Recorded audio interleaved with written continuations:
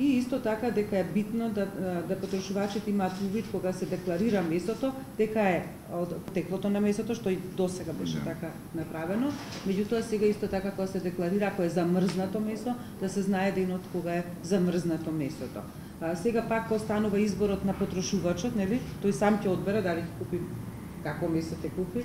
Меѓутоа, сепак еве унапредување има и веројатно нема тука да застанеме, ние понапред одиме од Европската унија во некои декларации, меѓутоа сметам дека информациите за месо за, се битни во, во оваа ситуација, како и сите она регулатива што е донесена воопшто за информациите кои што им се даваат на потрошувачите, транспонирана и во закон за, законот за безбедноста на храната и во последниот правилник.